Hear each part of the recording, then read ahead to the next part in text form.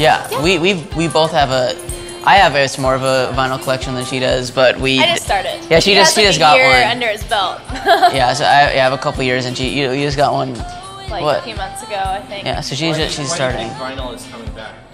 I think people like to hold something now, and I think now that CDs, I mean, computers don't even have CD ports anymore.